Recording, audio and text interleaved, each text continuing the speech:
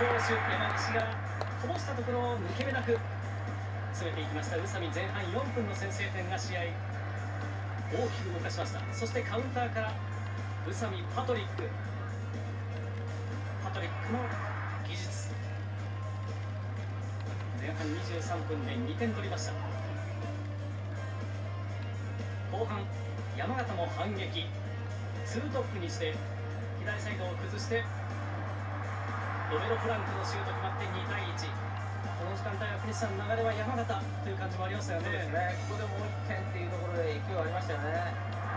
山形このディエゴのシュート。東口の好セーブがここはガンバを救いました。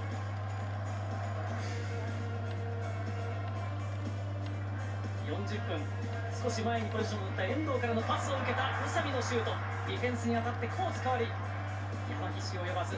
大きな大きな3点目三冠を引き寄せるゴールとなって